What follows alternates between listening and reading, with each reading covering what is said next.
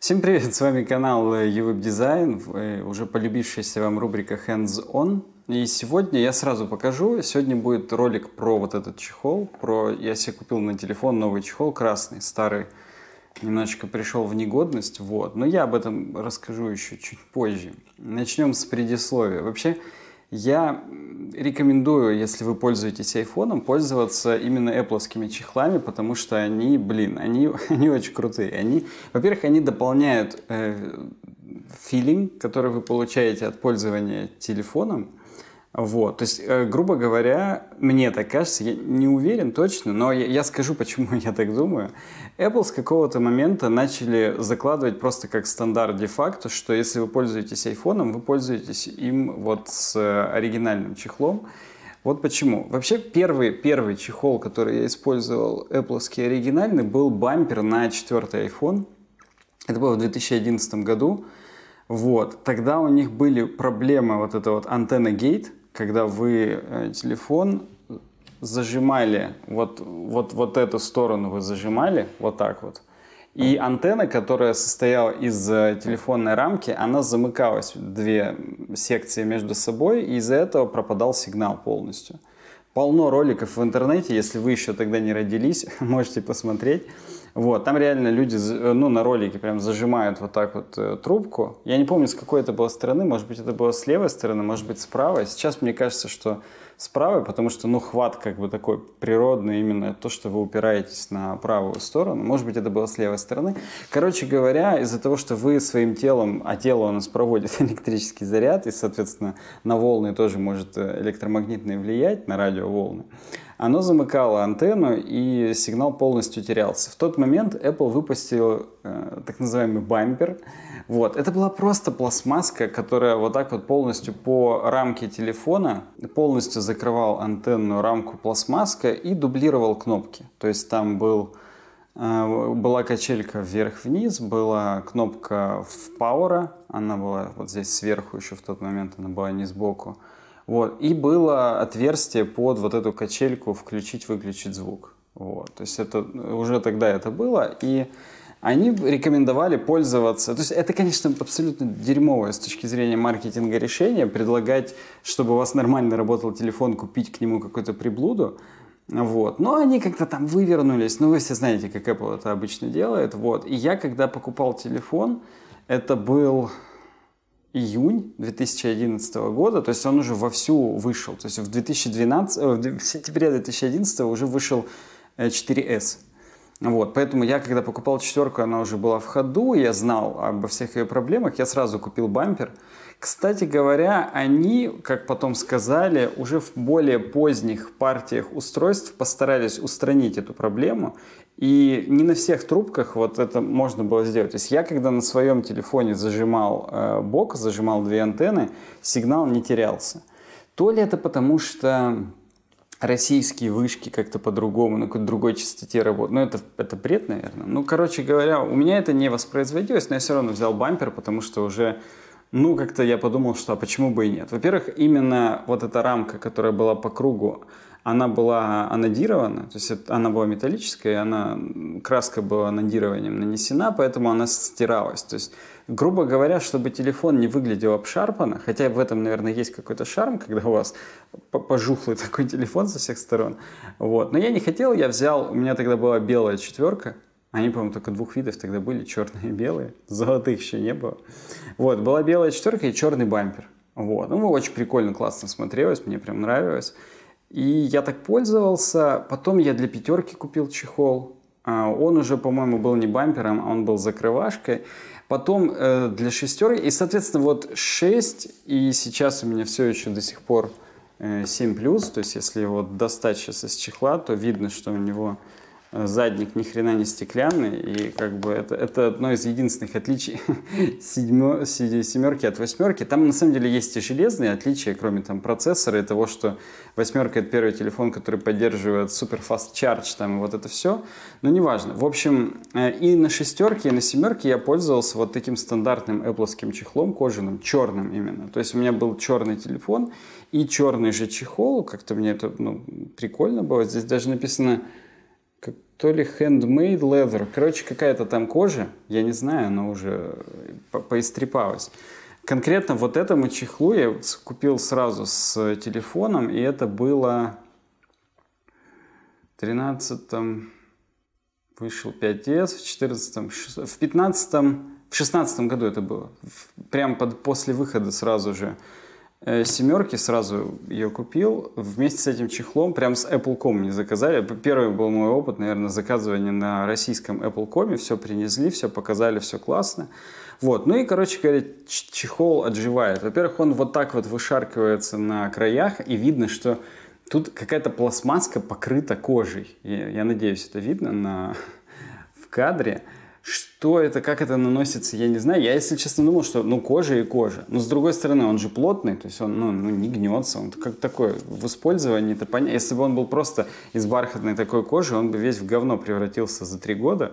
Вот. А так он превратился не полностью в говно. Вот. И здесь внутри вот этот вот бархат приятный. Но это, это все знают, кто пользовался оригинальными Apple именно кожаными чехлами, они офигенские. Хотя у силиконовых тоже внутри есть вот этот бархат.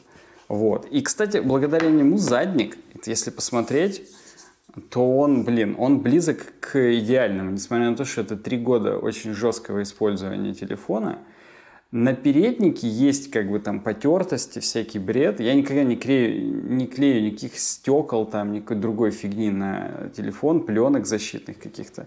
Вот, только, только чехол на заднюю крышку. Вот, он заднюю крышку реально сохраняет в офигенном состоянии. Не знаю, как оно тут на свету играет, не играет. Короче говоря, прям мне очень нравится, как получается. Вот. Кроме всего прочего, почему именно начиная с шестерки я стал рад, что я использую Apple чехлы, потому что у них камера стала выпуклая, да, вы все помните этот момент, когда все плевались, и он, когда на столе лежит, я не знаю, тут слышно или нет, он немножечко люфтит. Наверное, слышно, он сильно брякает. Вот. Когда вы его э, окунаете, так сказать, в чехол, одеваете, сейчас мы это сделаем, вот, когда вы его одеваете в чехол, он становится полностью в потай, и, короче говоря, он не брякает больше на столе. Это как минимум одна причина для того, чтобы купить э, чехол для айфона, в принципе. Не обязательно Apple, хоть какой-то. Я терпеть не могу чехлы, книжки, там вот это все. Просто вот э, чехол, который закрывает задник. С того момента, как э, здесь... Э, я не помню, с какого момента. С какого-то момента их стали делать литыми полностью. Наверное. Или это только у Smart Bet... Это у Smart Battery кейсов они литые. Да. У меня у Бати на XS тоже, по-моему, вот, вот такой вот он с прорезью. Этот чехол, кстати, тоже вот из этой же серии. Обычный Apple кожаный чехол. А Вот. Ну и, короче говоря, вот этот черный, мне... Почему я понял, что пора?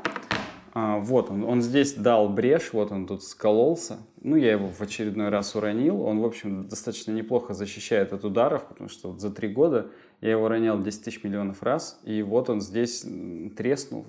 Я понял, что, блин, пора. Тем более он уже тут затерся. Он был такой раньше шершавый, сейчас он полностью затерся. При этом все равно достаточно неплохо выглядит. Вот. Тут, конечно, след еще от поп-сокета остался от предыдущего. Кстати, этот поп-сокет тоже сломался. Он прям треснул, так откололся. Мне его пришлось снять. Вот. Плюс я еще самый первый ролик для вот этой рубрики Hands On я снимал на телефон, поэтому я его зажимал в штатив, и поп-сокет банально мешался. Я его в тот момент снял, понял, что Видимо, и чехол я тоже в какой-то момент сменю, а тут э, вот на этот сделали большую скидку, он стоил 4 500 или 4 400 каких таких денег, вот, и его уценили до полутора косарей, вот. Ну, тут все, все нормально, продуктов Apple, там с, с номерами, с моделями, со всякой фигней. Все он реально не поддельный. Вот. И, ну, я просто я видел поддельные, как они выглядят. У нас есть много. Это, это я купил, кстати, это не реклама, я купил в Мегафоне. Это даже не в каком-нибудь там салоне чехлов нет там и всяком таком говне. Нет, это нормально в Apple магазине. Вот он так вот скрывается. Я его в магазине вскрыл, чтобы посмотреть, какого именно оттенка там красный. Вот, потому что, опять же, те, которые фейковые чехлы, тут ничего нет, пусто. Те, которые фейковые чехлы, они супер ярко-красные, а именно натуровский, он вот такой темно-красный. То есть он вот, вот так он выглядит. Показываю на свет. И внутри, соответственно, он также выглядит. Вот, очень круто. А, обратите внимание, Product Red, я поддерживаю борьбу с таким страшным заболеванием, как SPID. Natural Leather, здесь также написано, натуральная кожа. Вот. И кнопулечки, они так же, как и здесь на черном, они прикольно глянцевые такие. То есть они не матовые, а они именно такие блестящие, как в старых играх, когда ты в квестах. Ты видел э, общую сцену, и ты сразу видел, какие предметы можно использовать, потому что они чуть-чуть выделяются. То есть они прям, ну, отдельно стоящие, так скажем. Вот тут тоже кнопочки, они выделяются, и их хочется нажать, видно, что их надо нажать. Вот. Яблочко, оно здесь чуть-чуть вдавленное такое. То есть такое достаточно стильно, прикольно. Напомню, кстати, что в 11-х айфонах их стали по центру делать, эти яблочки. Вот. Теперь они здесь. Вот. Тут, кроме этого, больше ничего в чехле нет. Здесь есть только инструкция, как его вдевать, что начинать надо с верха и заканчивать низом. Все как в жизни. Вот, все, больше ничего нет. Здесь ухват, который этот чехол позволяет туда э, закрепить. То есть вот он не выпадает оттуда, если его нормально закрепить, вот он держится. Вот. Это, это прикольно. Можно старый туда закрепить смотришь такое на упаковке красной, открываешь, а там черное старое говно. В общем, это здорово. Мне понравилось, как, эм, как выглядит красный чехол. Я давно хотел попробовать что-то из линейки Product Red. Когда вышел восьмой iPhone, прям весь красный, я такой думаю, а, блин, гениально вообще. Я прям так хотел, так хотел. Потом понял, что а смысл менять седьмой на восьмой. Вот, а потом уже я женился, и, в принципе, смысл менять телефон сразу отпал.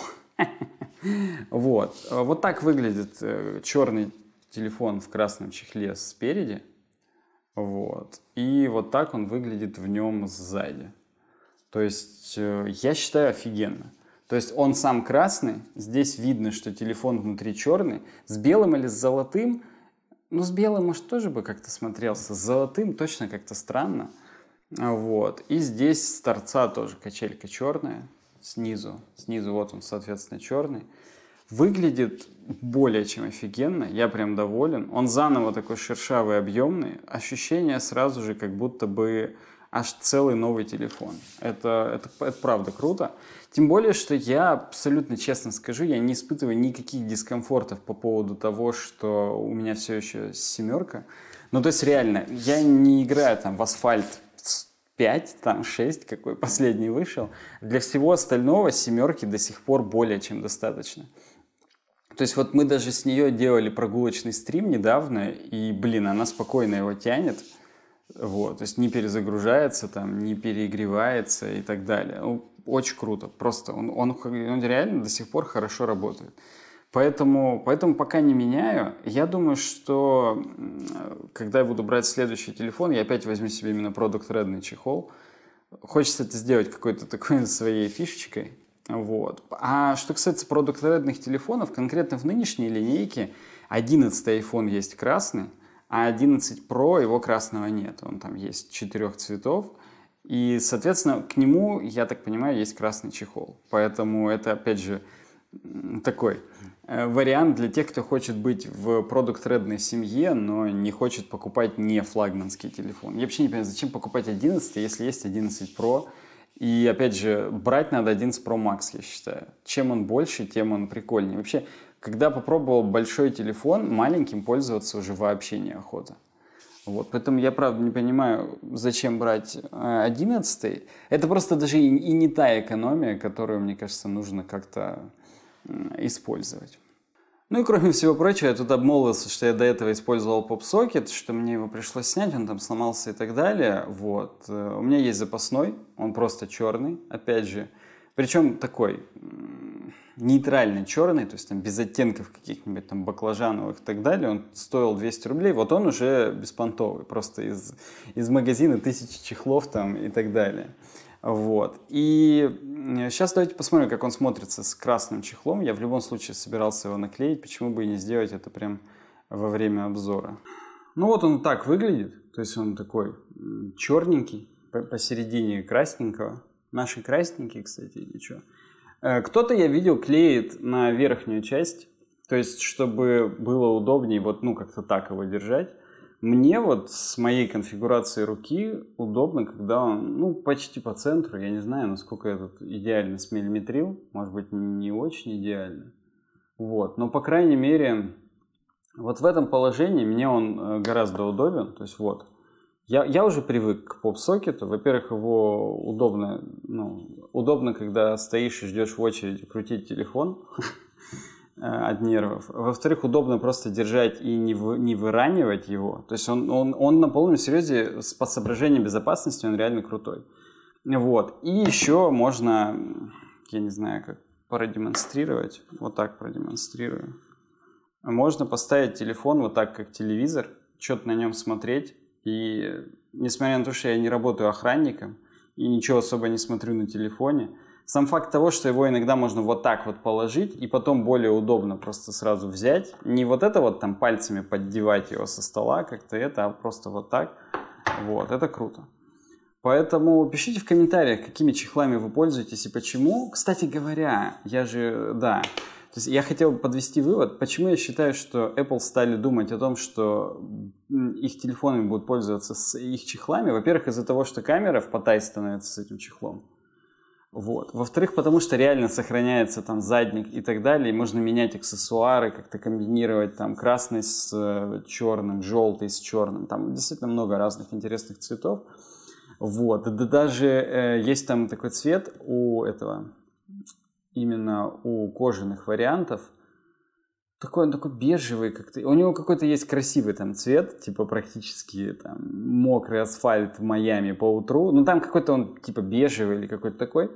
Вот. Он, и то он супер офигенно смотрится с черным. Это для тех, кто любит светлый вариант, так сказать, на выход, у кого там. Они открывают так шкафчик, у них здесь много чехлов на плечиках висят, как платьев. Вот. Э, можно взять и тот бежевый вариант, тем более вот они сейчас пока, пока их действительно дешево продают. Это, это очень круто. Вот. И не, невозможно не вспомнить э, прикладность вот э, того бампера, о котором я уже сказал на четвертом iPhone. Без него реально ну, было омрачнено использование в некотором случае. То же самое с iPad. Я когда купил первый свой iPad, это iPad 2, у него был вот этот Smart Cover сразу – который спереди. Он, у него наоборот, никакого задника, только передник. Он передом вот так был закрыт, и все. И а, он еще был такой намагниченный, такой весь удобный, и он складывался в такой треугольничек, и iPad тоже можно было так ставить, как телевизор, но в случае с iPad, конечно, это более актуально, чем с телефоном. Телефон мы редко ставим как телевизор, там все равно ничего не увидишь. А на iPad, да, то есть там реально на них что-то можно смотреть, да даже читать, если вы читаете его как э, э, книжку, вы его поставили на стол и листаете просто пальцем, как бы, а так он у вас стоит вот так вот и радует. Кстати, в случае с iPad, там же тот чехол можно было еще вот так положить, то есть треугольничек расположить под дальним краем, а не под ближним. И он, соответственно, был вот в таком положении, типа на нем было удобно писать. Я не готов ответить, насколько вообще удобно что-то писать на iPad, вот. У меня сейчас у батя iPad Pro, который не 12, а который 10,5. Он, блин, он удобный, он классный, но я всегда говорил, что iPad это прежде всего про потребление контента. А создание контента это все-таки ноутбук, какой-нибудь лэптоп. Поэтому использовать iPad, ну я видел, что многие журналисты используют на нем там что-то пишут как-то и так далее, подключают какие-то блютусные клавиатуры или там подстегивают вот эту тоже Apple клавиатуру, которая такая мягонькая, которую неудобно нажимать. Тоже как варианты, в общем, но я считаю, что э, фирменные Apple аксессуары, они, они как-то добавляют... Э, вроде ты как бы пользуешься и понимаешь, что вот так, наверное, и задумывали, что этим будут пользоваться. Так оно как-то удобнее. Просто даже если мы будем говорить с вами об эргономике, то вот уже э, начиная с шестерки, да, 5S еще был такой достаточно толстый, начиная с шестерки, они стали такие тонкие, я имею в виду айфоны, что на полном серьезе тебе кажется, что а, ты сейчас вы, выронишь его, и как-то там он куда-то улетит. Он реально стал тонкий, и тонкий до неудобности. То есть одно дело, когда ты что-то делаешь тонким, и оно как бы, ну, от этого приобретает, как телевизор, да, например, который вы вешаете на стену, и он у вас уже не вот так от стены отстает, а его можно по кронштейну реально близко к стене представить, и это как бы, ну, это удобно и здорово. То, что касается телефонов, такая вот э, узкий профиль, это не всегда хорошо, им просто становится неудобно пользоваться. Поэтому как бы чехол, он добавляет вот этой вот приятной громоздкости для того, чтобы ты его мог просто крепко держать банально. Еще раз покажу, как это выглядит. Мне очень нравится, я прям сильно доволен покупкой. Вот. И последнее, о чем хочется сказать, мы вот тут в одном из крайних подкастов разговаривали с Никитой про Smart Battery Case. Я не буду повторяться, я просто приглашаю вас пройти и послушать. Там. Первые 40 минут подкаста мы разговаривали про новый чехол с батареей, который к 11 айфонам вышел с кнопкой камеры. Вот здесь вот он, с правой стороны там кнопка камеры. Послушайте, это, ну, как бы, мы там тоже о многом об этом поговорили. Это, в принципе, таким Э, продолжением явится для вот этого ролика. Спасибо всем, кто смотрел. Подписывайтесь на канал, ставьте колокольчик. И главное, пишите комментарии вообще, насколько вам нравятся эти обзоры. Что изменить, что добавить, что убавить. Э, убавить Apple не принимается такой комментарий. Хотя, в принципе, можете написать. Если их будет больше, там, я не знаю, 100, то, наверное, мы об этом задумаемся. Хотя тоже вряд ли. Ладно, всем пока. Увидимся. До новых встреч.